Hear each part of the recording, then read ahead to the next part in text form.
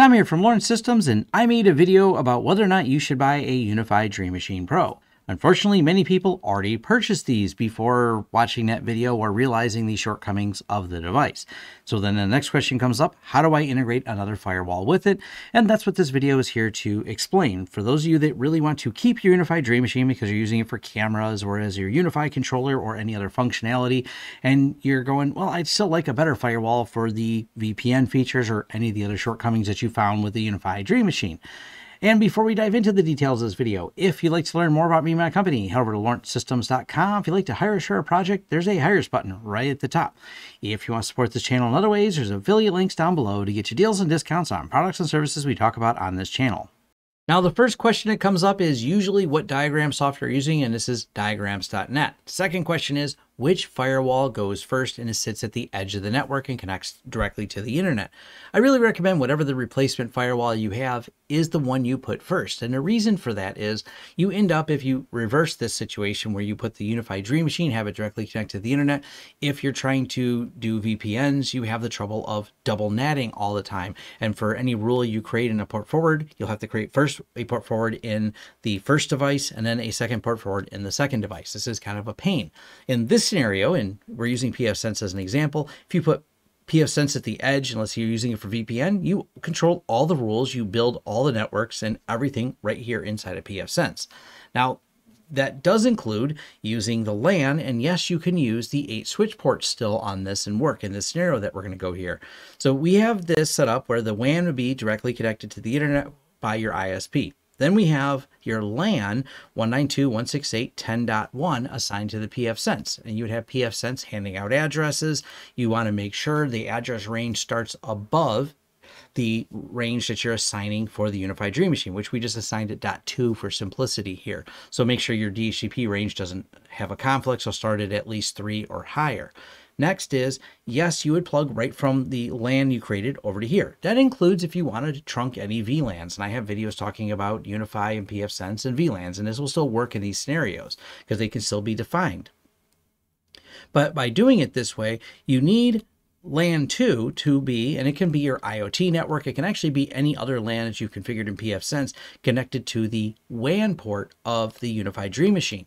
The reason for doing that is that the only way the UniFi Dream Machine can reach out and actually get to the dashboard or reach an update server so you can tell it to update is through its WAN port.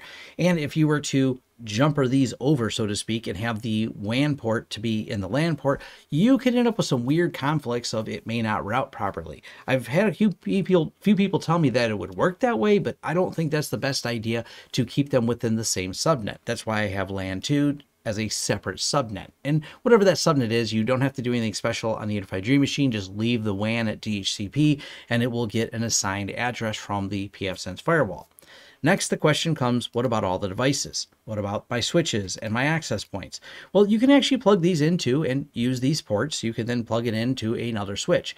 One thing of note is if you have already configured UniFi Dream Machine and you have all these devices adopted, when you change the internal LAN IP of your Dream Machine, you may find that it loses some of these devices. I've found it not to be absolutely rock solid on updating the inform URLs. The easy solution is unadopt them first, put them basically in a default state, change the IP address of your Dream Machine, and then readopt the devices and start bringing them back into the network. This is a quick and easy way to solve the problem and avoid any potential troubleshooting you have by updating or manually updating the inform URL to the new IP address assigned to the UniFi Dream Machine.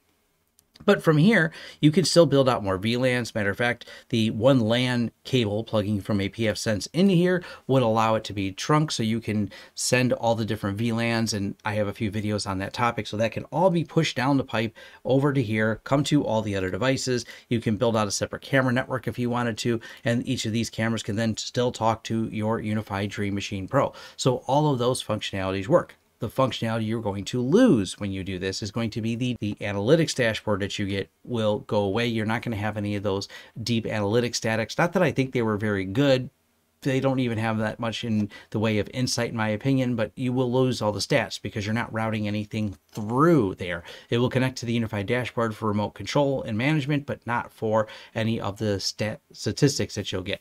Now, as far as how you actually change the IP address on there, all I did was go into right here into settings, then to networks, and then we typed in 192.168.10.2 slash 24. Then we have that set as the gateway IP. It has the range here, but we want to make sure DHCP server is set to none. This is important because you can't have two devices handing out DHCP on the network because that would cause conflicts. It'll start handing out overlapping IP addresses. But other than that, that's all you have to do to make this scenario work. And this is a demo LAN I had set up where I have this set up configured and working with some devices attached to it. So absolutely it'll work.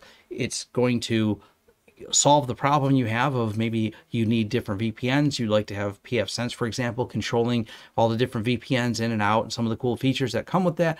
But you still want this inside your network where it's accessible, where it manages the UniFi controller software, maybe some cameras or anything else you have tied to your Dream Machine and have that functionality still exist. Now, hopefully this clears up when people ask the question of how do I integrate it with my, you know, new firewall that I got, such as a pfSense. But honestly, my better recommendation always is to get something like either a cloud key to host the controller on or host the controller yourself, or even reach out to someone like HostiFi to handle all the controller hosting. There's a few different options. I mean, the controller software is free. You could just run it on your local computers or local Linux server that you have, or even, you know, rent some server space in the cloud. There's a few different scenarios. The UniFi Dream Machine is not necessary. You can use all these devices without it. But of course, if you're using something like UniFi Protect and you're using it with the Dream Machine, or you're using uh, one of the UniFi doorbells, which ties to the Dream Machine, and you don't want to buy a separate Protect system, I get it. This can be a cost saving measure because, well, you've already spent the money and you already have the device. So hopefully this clears this up. Leave your comments, concerns down below, and head over to forums for a more in depth discussion. Thanks. And thank you for making it all the way to the end of this video. If you've enjoyed the content, please give us a thumbs up. If you would like to see more content from this channel, hit the subscribe button and the bell icon. If you'd like to hire a project, head over to lawrencesystems.com and click the Hire Us button right at the top. To help this channel out in other ways, there's a join button here for YouTube and a Patreon page where your support is greatly appreciated. For deals, discounts, and offers, check out our affiliate links in the description of all of our videos, including a link to our shirt store where we have a wide variety of shirts that we sell and designs come out, well, randomly, so check back frequently. And finally, our forums. Forums.lawrencesystems.com is where you can have a more in-depth discussion about this video and other tech topics covered on this channel. Thanks again for watching and look forward to hearing from you.